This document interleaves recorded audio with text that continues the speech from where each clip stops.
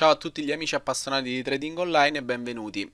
Oggi voglio farvi vedere un'operazione in spread che abbiamo aperto sullo zucchero e voglio farvi vedere come l'abbiamo aperta, come l'abbiamo gestita fino a questo momento e soprattutto quanto abbiamo guadagnato fino a questo momento. Prima però facciamo un breve ripasso che non fa mai male.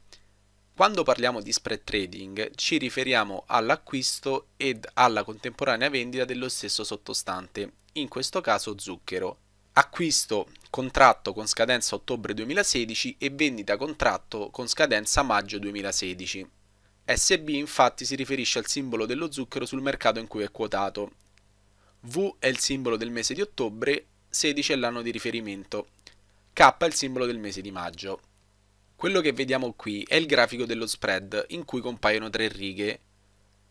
Una riga nera che rappresenta lo spread di quest'anno, la riga blu che rappresenta la media del movimento dello spread negli ultimi 15 anni e la riga rossa che rappresenta la media del movimento dello spread negli ultimi 5 anni.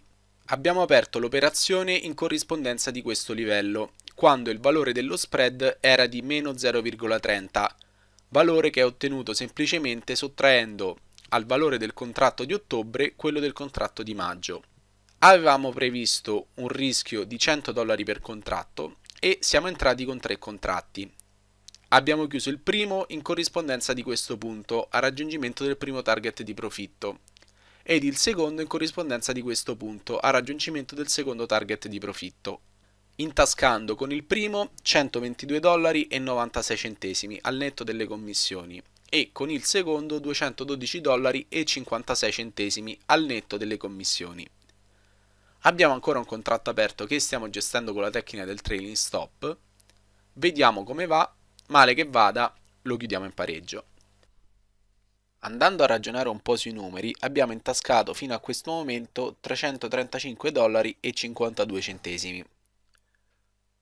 Considerando che per aprire la posizione il broker ci ha richiesto un margine di 217 dollari a contratto, quindi 651 dollari totali, abbiamo fatto una performance del 51,6% sul capitale a margine e del 111,84% sul capitale che avevamo deciso di rischiare, quindi 300 dollari iniziali.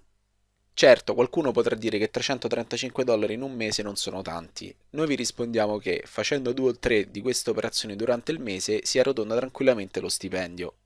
Certo, per arrivare a questi livelli ci vuole studio e impegno, però con l'aiuto di esperti come noi e con il lavoro di gruppo possiamo tranquillamente arrivare ad avere questi risultati. Bene amici, come al solito per qualsiasi domanda o informazione vi rimando al nostro sito Amica Borsa. Io vi saluto, ciao a tutti da Luca.